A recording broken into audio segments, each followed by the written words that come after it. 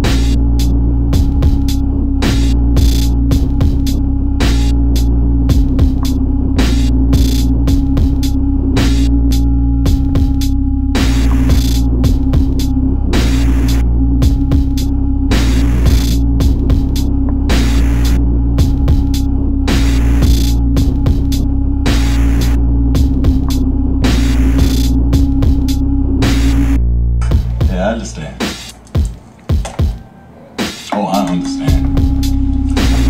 Let me see if you understand this. Rules are rules. Am I supposed to change them because you sit across the street? Take a look at you. Fucking walk in here after five, ten, however many years. And because today is the day you decide to kick, the whole fucking world is supposed to stop said it! We all have been waiting for the day that you come through that door and tell us you no longer wanted to be a fucking dope